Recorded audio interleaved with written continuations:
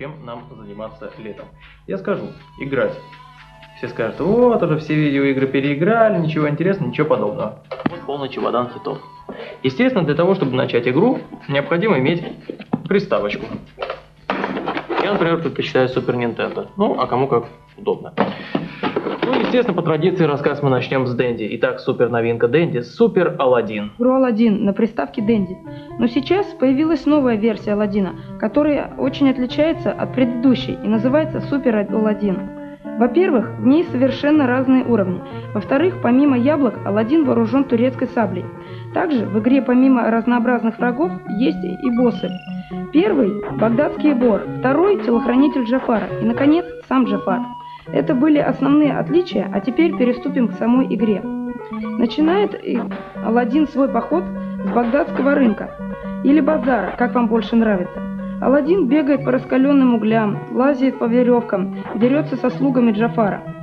Во втором уровне Алладин ищет в пустыне золотого жука.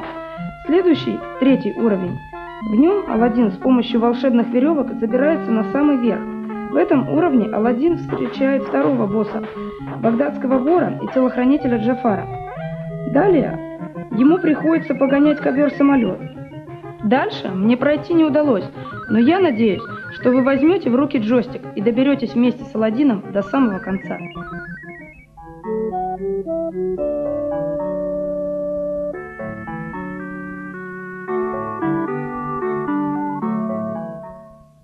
В одной из наших прошлых передач мы знакомили вас с игрой той истории на приставке Sega. Сегодня мы познакомим вас с этой игрой более подробно. Вы ее узнаете не только на Sega, но и на Супер Nintendo. Вы сейчас видите версию игры на Sega. Она вам уже знакома. А это уже той история на Супер Nintendo. Больше красок, лучше графика. Да и сам персонаж вырос. Как говорится, нинтендовская история обошла сеговскую, но хуже от этого Сеги не стало. Итак, перейдем к самой игре. В первом уровне вам предстоит выполнить следующую задачу. Необходимо освободить игрушечных солдатиков из банки и скинуть им рацию, для того, чтобы они передали по ней сообщение, и пойти ко второй рации. Во втором уровне необходимо буквально затолкать игрушки по местам, до того, как придут дети. Дело это непростое, да и время ограниченное. В третьем уровне наш герой как бы устраивает перегонки с новой игрушкой. Это бас световой год. Проигрывает и дерется с ним. А после поединка таранит его с помощью игрушечной машинки, таким образом вышвыривая баса из комнаты. За это все игрушки перестают с ним дружить и буквально хотят уничтожить его.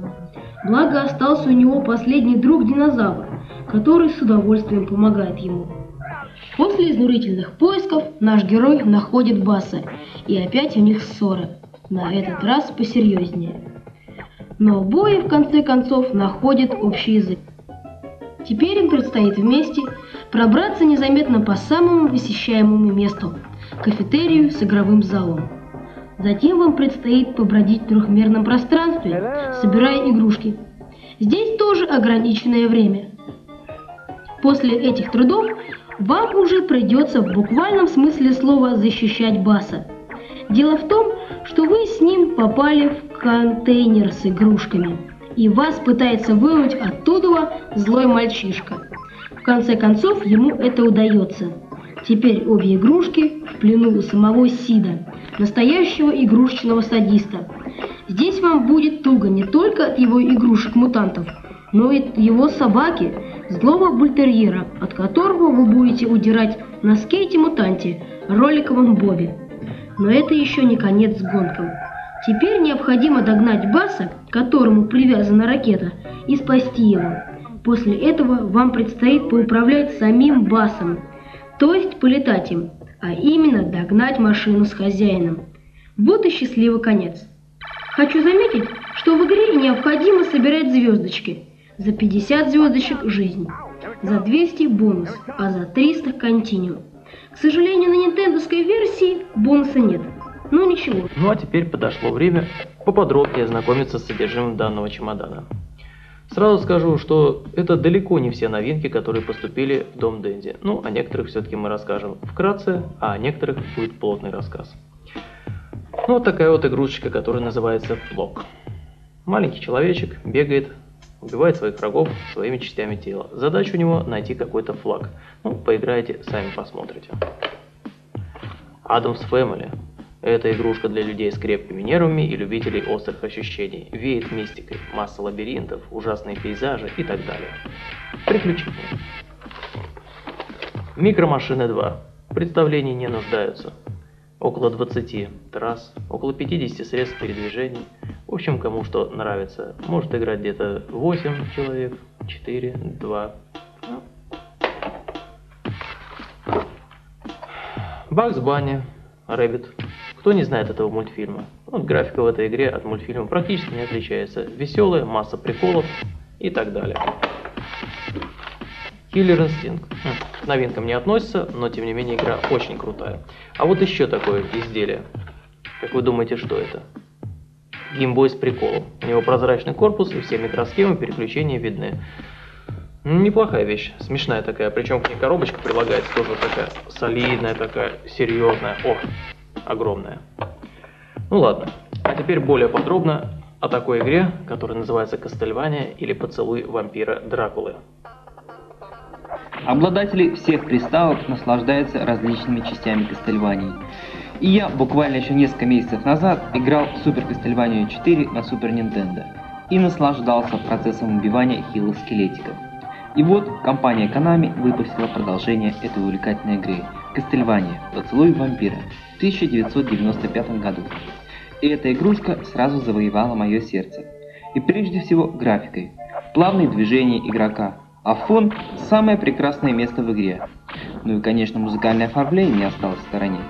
Знакомые мелодии первых Кастельваний, обработаны и представлены нам в наипрекраснейшем виде. Так и хочется напеть знакомый мотивчик. Итак, поцелуй вампира. Дракула вернулся, и как обычно, вместе с его появлением восстали все темные силы. Зомби, вампиры, духи и дьявольские головы. Время пришло, хлыст вам в руки и вперед на уничтожение этих порождений зла. Убивать их можно этим же хлыстом, а можно и специальным оружием, которое вы найдете в дороге. Очень радует то, что оно осталось без изменений. Я имею в виду по способу использования. Это и кинжалы, и топоры, и бутылочка со святой водой. Конце каждого уровня вам предстоит схватка с боссом, которого одним ударом плети не уложишь, а придется попотеть. Очень рекомендую собрать солидный запас сердечек для использования супероружия. Кстати, если в первой Кастельвании вы взяли новое супероружие и старое теряется, то здесь же старое выпадает и вы можете выбрать предмет понужнее. Если же вы действительно чувствуете в руках хлыст вместо джойстика, то вам не будет стоить огромнейших усилий пройти все эти сложности и уничтожить драку. А если вы все-таки не верите в свои силы, создатели игры предлагают удобную систему паролей, помогающую вам пройти игру до конца. Еще раз повторю, Castlevania, подстой вампира, новейшая игра для Super Nintendo.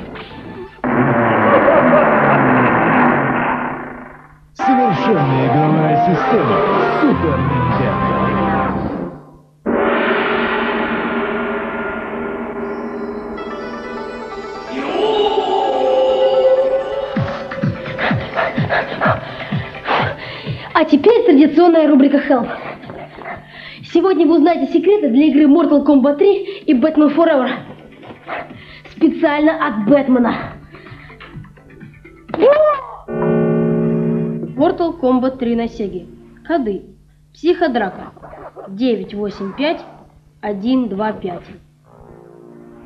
Победивший играет с Моком. 205 205. Нуб Сейбот.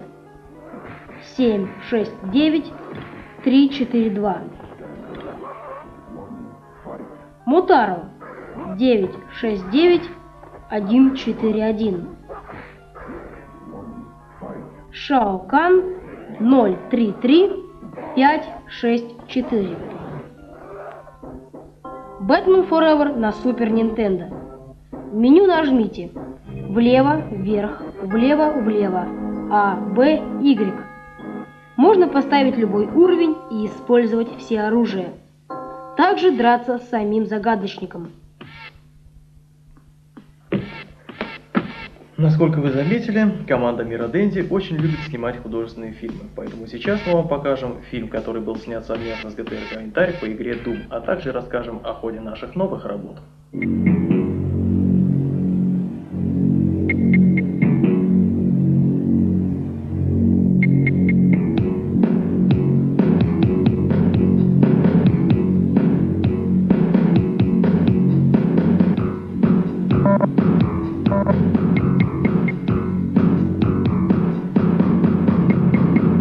Если ты хочешь получить свою игрушку обратно, приезжай к Рогатому сейчас.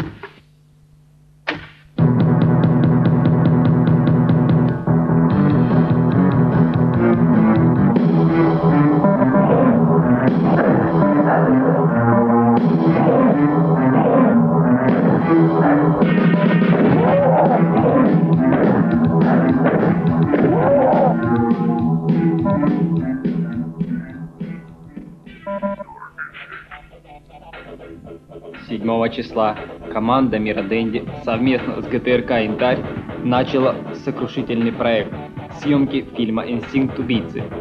Первый день съемок начался с наикрутейшей жары и палящего солнца. Обошлось без травм и трупов на рельсах. После нескольких часов съемок мы решили выпить по глотку тоника и приготовиться к следующему съемочному дню. Фильм будет готовиться с наикрутейшими заморочками на компьютере, и вскоре вы увидите этот шедевр. Ну что ж, на сегодня, пожалуй, это все.